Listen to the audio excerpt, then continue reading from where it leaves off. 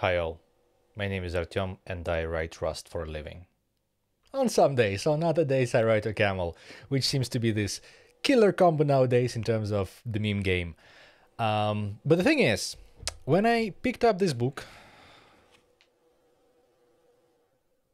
about four years ago, I could not imagine that Rust would become this force of nature that it is right now. Um, and I personally have developed kind of love-hate relationship with the language. Uh, I love it because it is just so much better than you know everything else in terms of the uh, in the system programming space. It it really uh, has elevated the game, and uh, yeah, I mean like on on on many axes, uh, the ergonomics of the language, developer experience, safety, uh, you name it, and I also hate it because it's not perfect, which I understand is a tall order, uh, but I mean overall I think it's pretty damn good to be in this particular spot in terms of you know language design.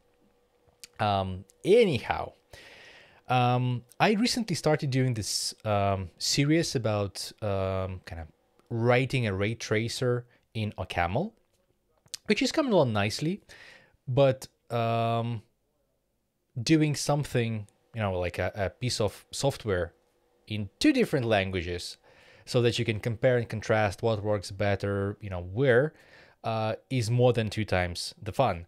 So that's what I'm to do. Uh, I will continue the OCaml series and I will also start doing the uh, ray tracer in Rust. And um, hopefully there will be some interesting observations along the way.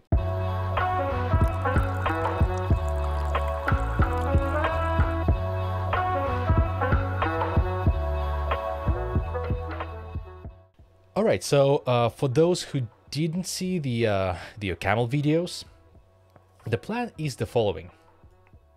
There is this um, book called uh, Ray Tracing in One Weekend, which is excellent. Uh, basically, it implements a simple but functional ray tracer in very small amount of code.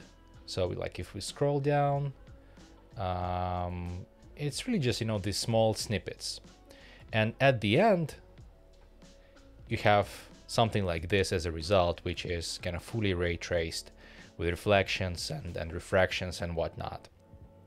And so um, what I want to do is kind of live code, um, you know, what is going on in this book, but instead of C++, which is the implementation language used in the book, use Rust instead and just see, see how it how it fares. And maybe also draw some comparisons with with the with the OCaml version. Um, so the plan for this video in particular is to um, set up the project and uh, output the first image which uh, looks something like this. Basically this uh, weird gradient. So without further ado let's roll Let's set up the project. Um, as I mentioned earlier, the developer experience part of Rust is pretty great, so we can just do cargo init, name of the project, which I'm gonna call Racer, because it's ray tracing in Rust. Here we go. Um, let's open Racer. Yes, I trust the authors.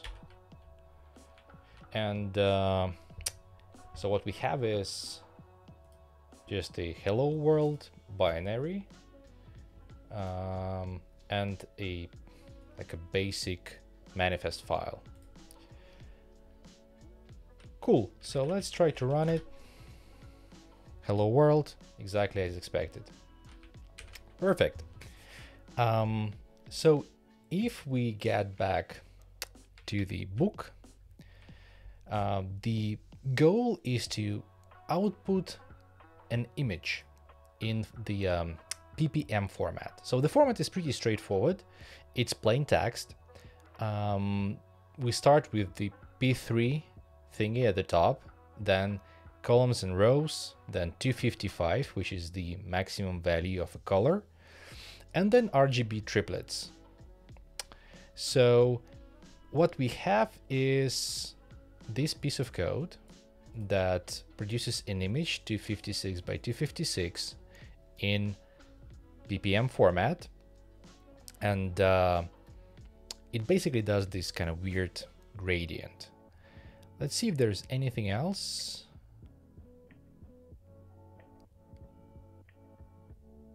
No, that's pretty much it. So what I would like to do is, instead of just doing this in line, define instead some, you know, data types uh, and do a bit of domain modeling. So let's um, switch to main and define a struct. And we'll call this struct image. And um, the image will have a bunch of pixels inside. That's not quite big brain domain modeling, but this will work. So it will be um, a vector of a vector of some pixels. Uh, we don't have a pixel yet, so that's what we're gonna define next. Um, so the pixel is gonna be just a triplet, red, uh, and this is gonna be just a byte value, green, blue. oops, RGB. Um, so the cool part, at least compared to OCaml uh, here, is that we can define the pixel to be a struct of three bytes. And uh, this will be kind of efficiently represented in memory. Um, all right, so now let's um, create a couple more things here. Um, so one thing I would like to do is uh, start maybe with the um, some basic testing uh, setup for the project. And uh, for this, I would like to use this library called K9. If you haven't heard about K9, um, it is not very easy to search for, but uh, if you know that it's K9 Rust, you will see. Um, this is a library by Aaron Abramov. It is pretty awesome. And what I would like to use from this library is like a, it's, it is a general testing library, but in particular, what I would like to use is the snapshot functionality. And to demonstrate what it means, there is this GIF or GIF. Um, but the idea is that you just have some piece of code, an expression, and uh, this expression is rendered inside this macro. And the result of the rendering can be either compared to this kind of existing snapshot or updated if you're in the process of working on a particular piece of code. So let's um, add K9 to the project. And for this, we're gonna use cargo add dev K9 Let's see if it's gonna work. I think it did. Okay, it also pulled the last version of K9, which is great. So then if we define a testing module, and let's guard it by the configuration, um, let's define a test.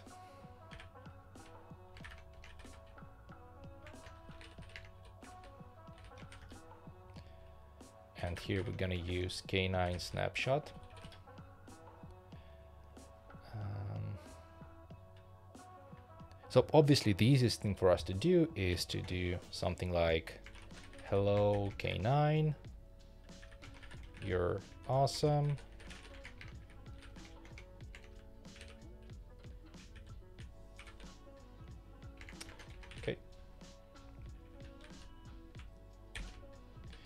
Let's do cargo test.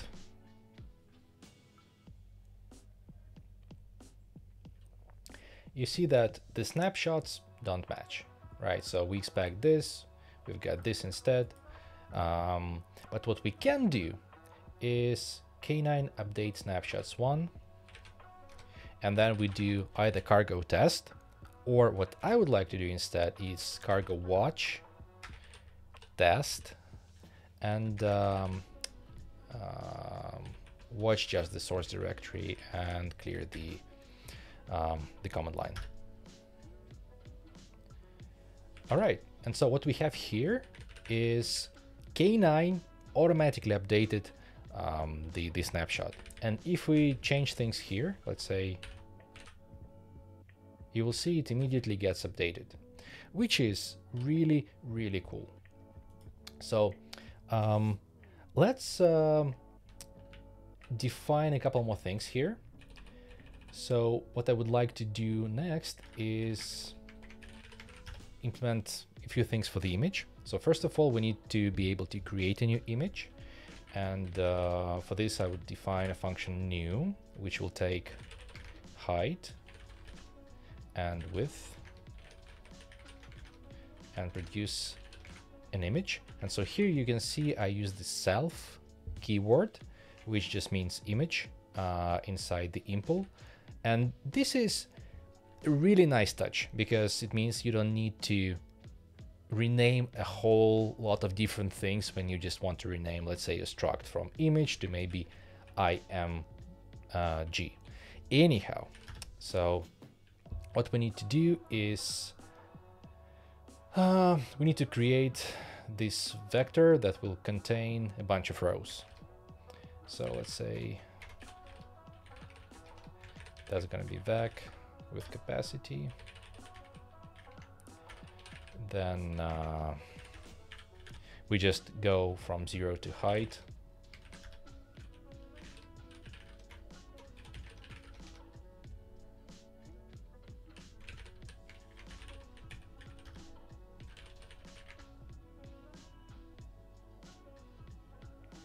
And here we're just gonna push a bunch of pixels into the vector.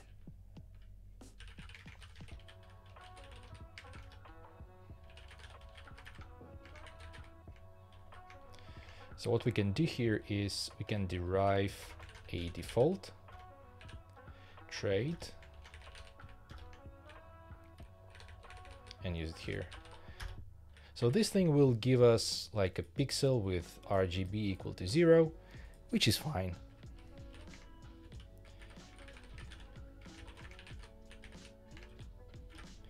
And here in the end, we just create the struct. So this already allows us to create this kind of um, empty or like filled with images filled with black. Uh, what we could do as well is create another function. Let's say new with init.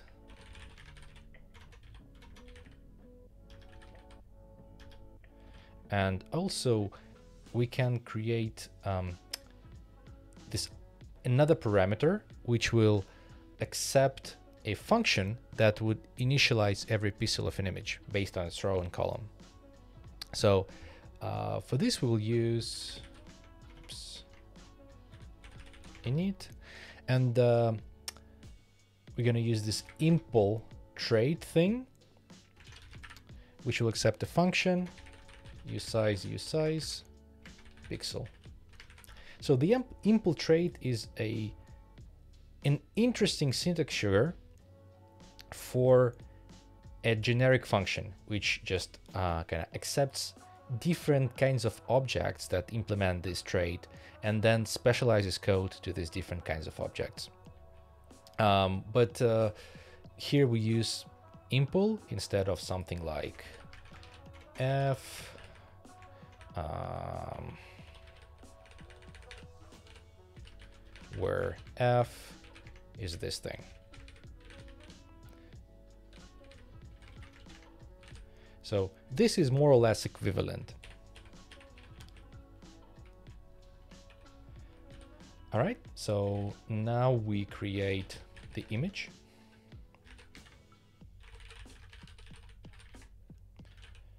Then we go over rows and columns.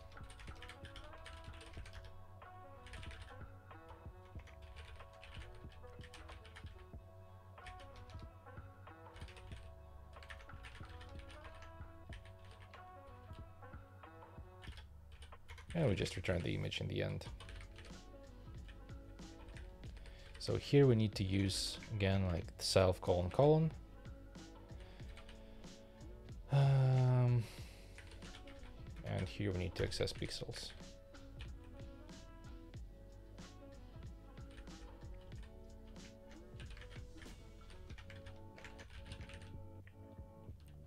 All right.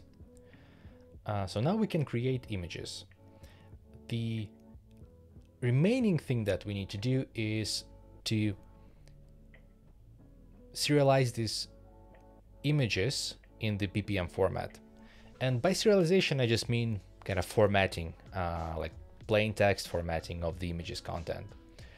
So one thing we could do is we could just define display trait for image and make it output ppm but i don't like it because there are many different kinds of image formats and so if we just make display output ppm all the time that's not very configurable.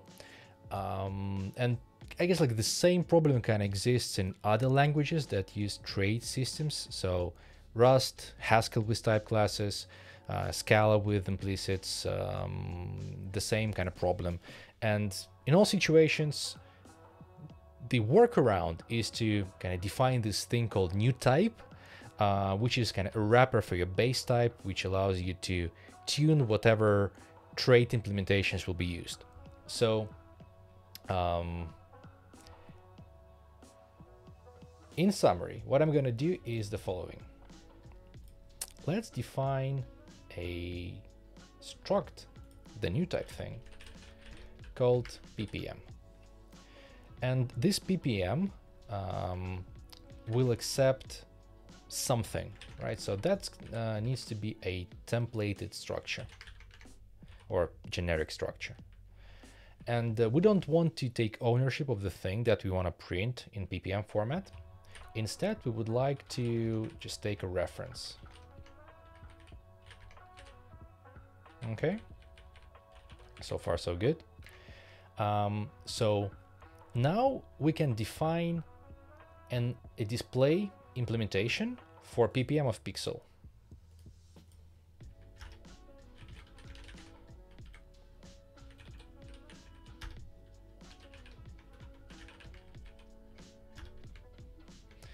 Um, so the first thing, the first argument here is the lifetime. Uh, we don't really care about the lifetime here, so we just use the um, this syntax uh, for this. The second thing is gonna be a pixel.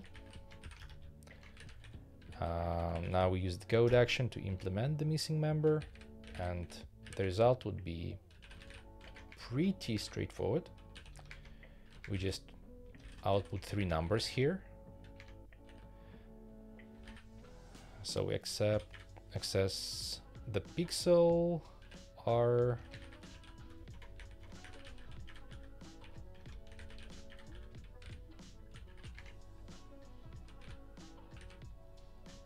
And uh, yeah, that's pretty much it. If we go back to the test, let's change things a bit. Um, let's create a pixel here.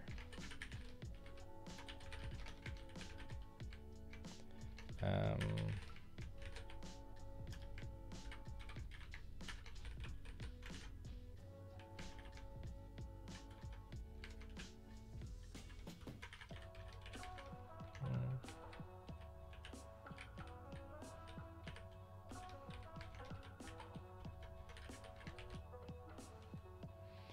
Okay.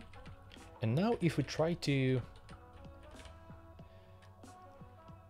sort of uh, print the pixel right away like this, this is not gonna work because we don't have a debug implemented for pixel. If we try to do ppm of pixel, unfortunately this is not gonna work either. Um, but what we could do is we can define debug.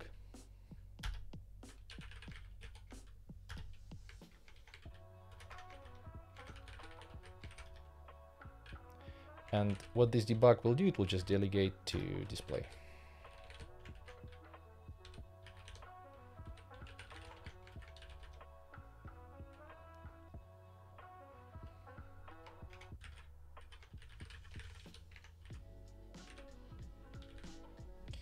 And as you can see here, we just output one, two, three. If we make it uh, like 42, this is gonna be 42 to 3. That's that's great. Um, now let's create another test here. And in this test, we'll actually create an image. So let's say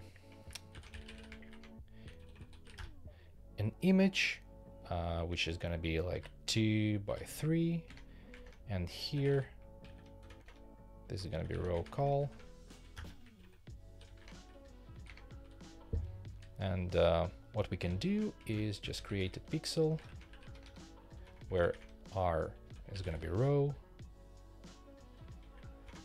G is going to be call, and B is going to be 0 or 42. Okay. Not okay, because we need a byte, but here it's usize. Now this is okay. So if you do the K9 snapshot,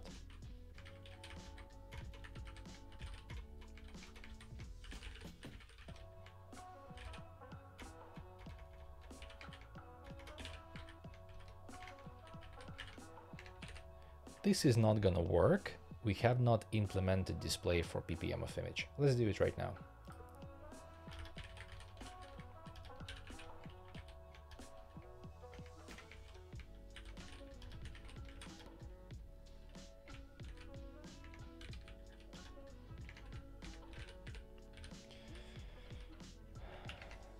if we refer back to the um, ray tracing thingy, so we need P3, then columns and rows, then 255. Um, so what we're missing here is the columns and rows inside the image. So let's um, define these functions.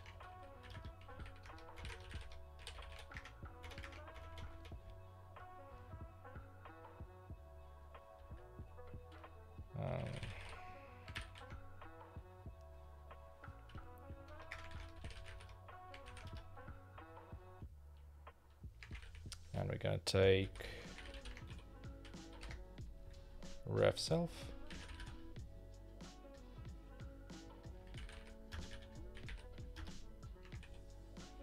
And uh, one thing I want to do here is probably just add an assert that height and width are greater than zero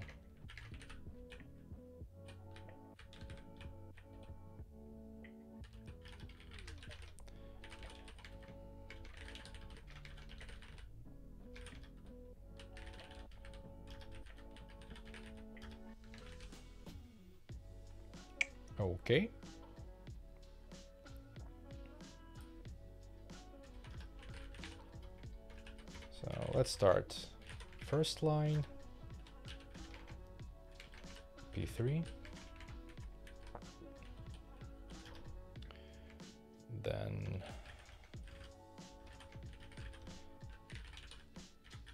it's uh, width and height.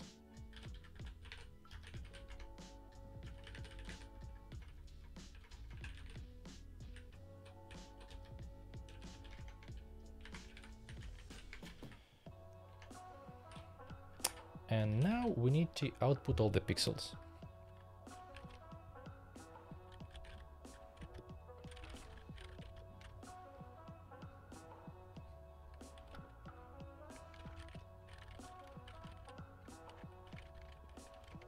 All right, and we need to wrap this in uh, ppm.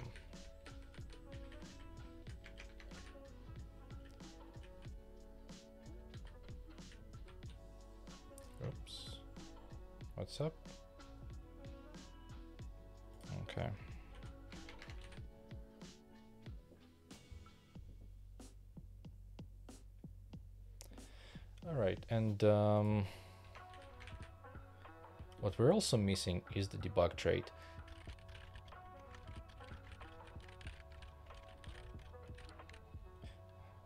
Yeah, so although the trait system or type classes or whatnot has its own limitations, but the fact that you can do this kind of um, type directed dispatch um, it just it just feels so good.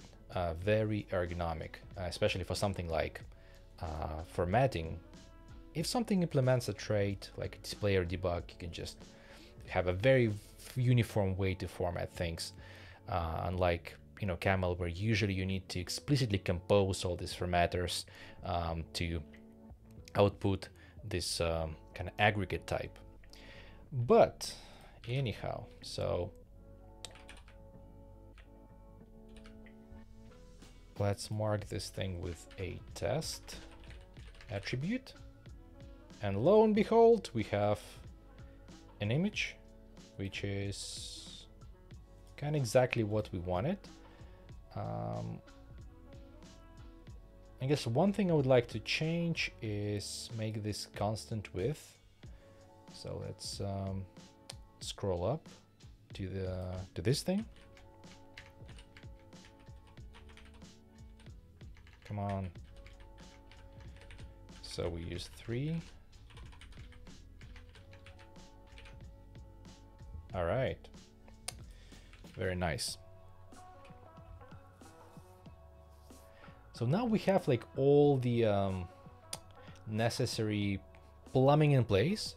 So let's actually create functionality to create an image and output an image into a file all right, so let's do um, something like this. And here we would use file create. Uh, come on.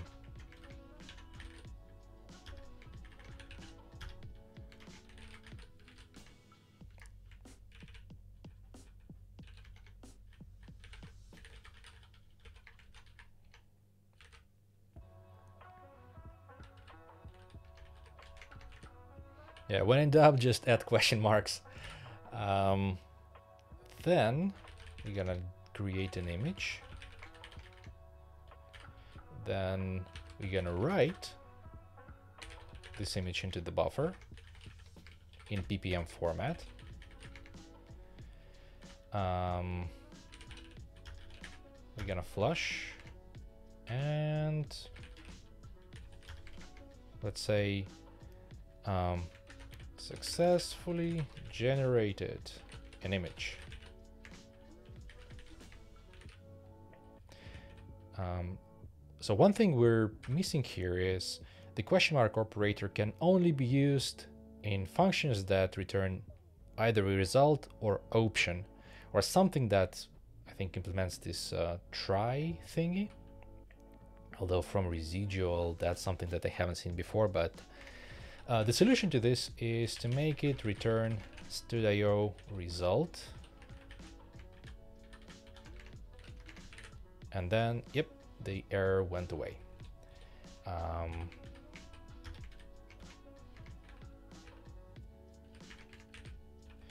so now let's create the sample image function. And for now, I will just uh, copy paste this thing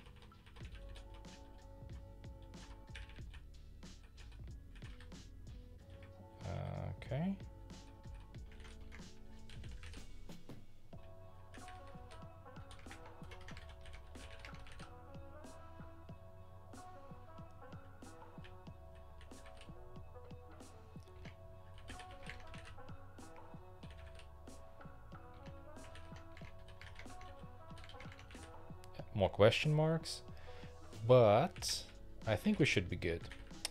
Um, so what we can do is we can just cargo run and this should generate an image. Let's see, sample ppm. Yeah, so this tiny thing here, that's our image. Now let's improve on this. So the, um, let me just move it maybe here.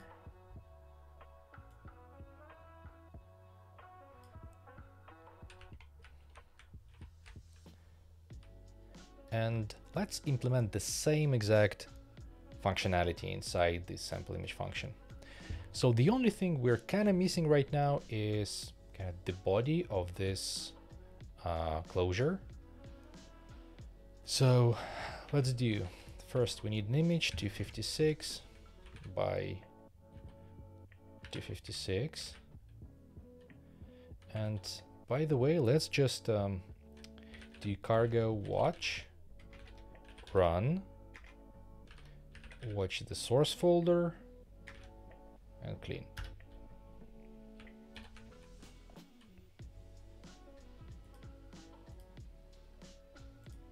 hey what's up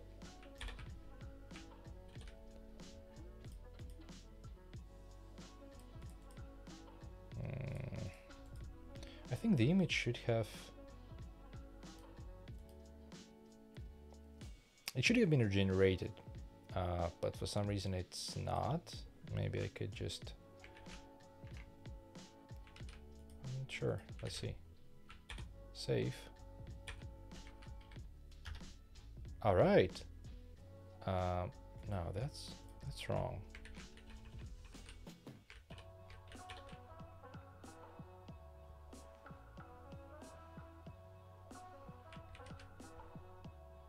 or not.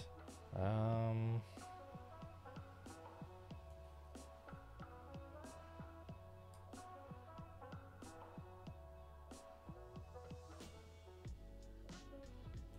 okay, how about... Okay, so that's actually the real image. Cool, so... We already have some weird gradient, which looks close to this, but uh, let's do the same functionality um, just for completeness. Okay, and here we don't need these uh, things. We can just use RGB um, inline. And what I like about, again, like the ergonomics of the language is the field punning. So you don't need to do this.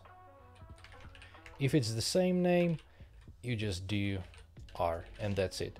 That's kind of the same thing um, uh, happens in OCaml with field punning. Um, but let's say something like F sharp uh, doesn't have field punning, which has been a mild source of um, frustration for me. But anyhow, in Rust, that's that's very nice touch, very ergonomic. And so you have seen that the image has just regenerated, and I think we should have the same gradient Yep, from green to red. And um, it's like what I particularly like about this setup. Again, same thing with the OCaml in this kind of dune watch mode. Same thing here uh, with cargo watch is that when I change the code, the image is getting regenerated and it's really uh, pretty much real-time sort of feedback loop, which is very nice. I like it a lot. Okay. So maybe as a recap, what we have done so far is, so we have generated a project using cargo init. Um, this project defines uh, some basic data structures like what is a pixel, what is an image, um, it, what is a PPM format and how it's uh, how to format things in PPM format. Uh, we also have some snapshot tests, which again can be updated uh, as we change the code. And finally, the, the uh, binary itself produces an image in PPM format, which uh, we can have side by side with the code and see how it's getting updated in real time as we change the code. That was fun. Um, in my opinion, pretty straightforward, pretty quick setup. Um, really nice setup with the snapshot testing and auto update of the snapshots, inline snapshots. Um, and overall, I would say the ergonomics mm, uh, of the language is pretty good. It's um, not that we had a lot of code to write, but already, you know, we have defined some custom data types, uh, some custom formatting functions. Um, th there was a bit of compositionality going on and um, everything in this development cycle was really responsive. It's like the uh, the LSP was very responsive. The the binary uh, runs very fast, uh, gives this, this, instant feedback. So um, overall, I'm pretty happy with how this went. Uh, but obviously, there are many more parts uh, that um, will hopefully shed more light on some of the pros and cons of using Rust for these types of projects. But uh, for now, thanks for watching. I hope that was interesting and see you next time. Peace.